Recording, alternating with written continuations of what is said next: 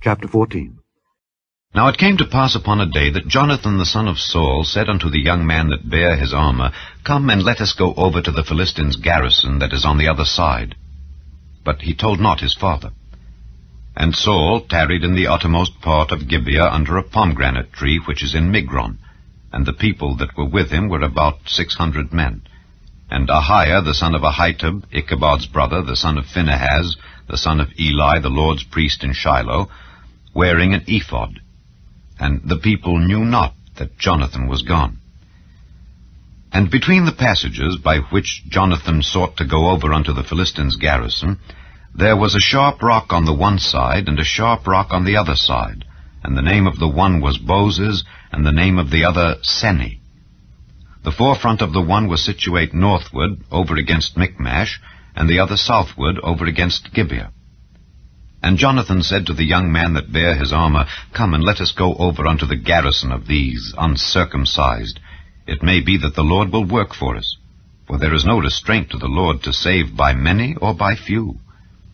And his armor-bearer said unto him, Do all that is in thine heart. Turn thee. Behold, I am with thee according to thy heart. Then said Jonathan, Behold, we will pass over unto these men, and we will discover ourselves unto them. If they say thus unto us, Tarry until we come to you, then we will stand still in our place, and will not go up unto them. But if they say thus, Come up unto us, then we will go up, for the Lord hath delivered them into our hand, and this shall be a sign unto us. And both of them discovered themselves unto the garrison of the Philistines, and the Philistines said, Behold, the Hebrews come forth out of the holes where they had hid themselves. And the men of the garrison answered Jonathan and his armor-bearer, and said, Come up to us, and we will show you a thing. And Jonathan said unto his armor-bearer, Come up after me, for the Lord hath delivered them into the hand of Israel. And Jonathan climbed up upon his hands and upon his feet, and his armor-bearer after him. And they fell before Jonathan, and his armor-bearer slew after him.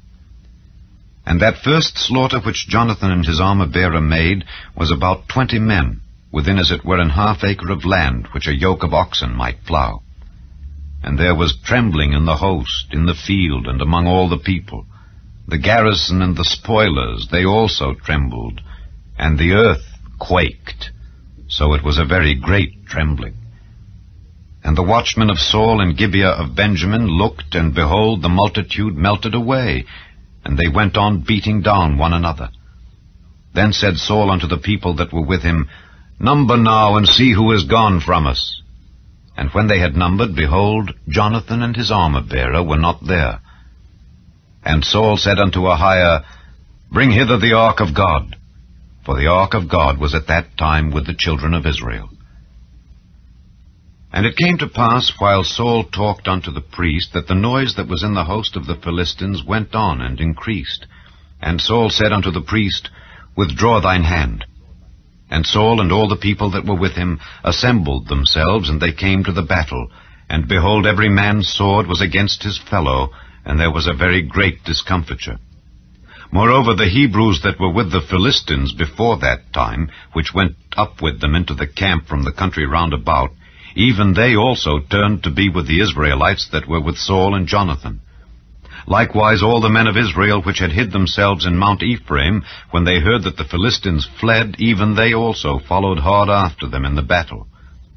So the Lord saved Israel that day, and the battle passed over unto Bethaven. And the men of Israel were distressed that day, for Saul had adjured the people, saying, Cursed be the man that eateth any food until evening, that I may be avenged on mine enemies. So none of the people tasted any food. And all they of the land came to a wood, and there was honey upon the ground. And when the people were come into the wood, behold, the honey dropped, but no man put his hand to his mouth, for the people feared the oath. But Jonathan heard not when his father charged the people with the oath. Wherefore he put forth the end of the rod that was in his hand, and dipped it in an honeycomb, and put his hand to his mouth. And his eyes were enlightened.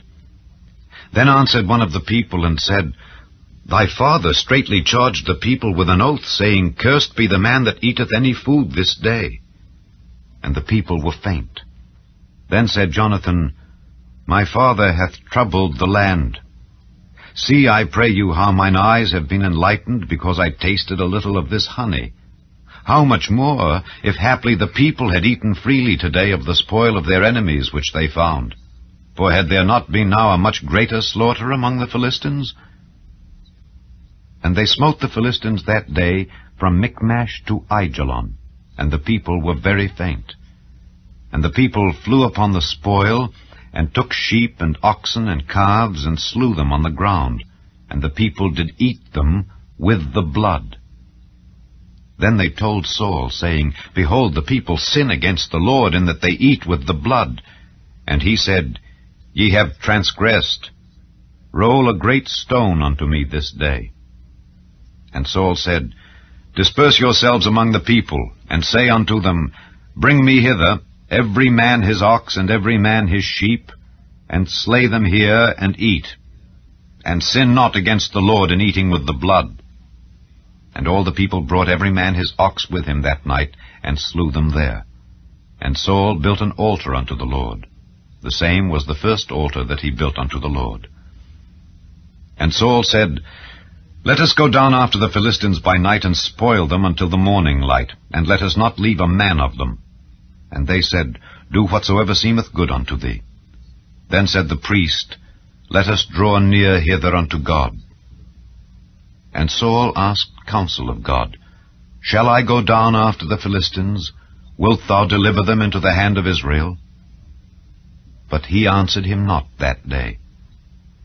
And Saul said, Draw ye near hither, all the chief of the people, and know and see wherein this sin hath been this day. For as the Lord liveth which saveth Israel, though it be in Jonathan my son, he shall surely die.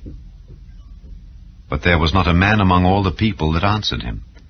Then said he unto all Israel, Be ye on one side, and I and Jonathan my son will be on the other side. And the people said unto Saul, Do what seemeth good unto thee. Therefore Saul said unto the Lord God of Israel, Give a perfect lot. And Saul and Jonathan were taken, but the people escaped. And Saul said, Cast lots between me and Jonathan my son. And Jonathan was taken. Then Saul said to Jonathan, Tell me what thou hast done. And Jonathan told him and said, I did but taste a little honey with the end of the rod that was in mine hand, and lo, I must die. And Saul answered, God do so and more also, for thou shalt surely die, Jonathan. And the people said unto Saul, Shall Jonathan die, who hath wrought this great salvation in Israel? God forbid. As the Lord liveth, there shall not one hair of his head fall to the ground, for he hath wrought with God this day. So the people rescued Jonathan, that he died not. Then Saul went up from following the Philistines, and the Philistines went to their own place. So Saul took the kingdom over Israel and fought against all his enemies on every side, against Moab and against the children of Ammon, and against Edom and against the kings of Zobah and against the Philistines. And whithersoever he turned himself, he vexed them. And he gathered an host and smote the Amalekites, and delivered Israel out of the hands of them that spoiled them. Now the sons of Saul were Jonathan and Ishui and Melchishua. And the names of his two daughters were these, the name of the firstborn Merab, and the name of the younger Michal. And the name of Saul's wife was Ahinoam, the daughter of Ahimaaz. And the name of the captain of his host was Abner, the son of Ner, Saul's uncle. And Kish was the father of Saul, and Ner the father of Abner was the son of Abiel. And there was sore war against the Philistines all the days of Saul. And when Saul saw any strong man or any valiant man, he took him unto him.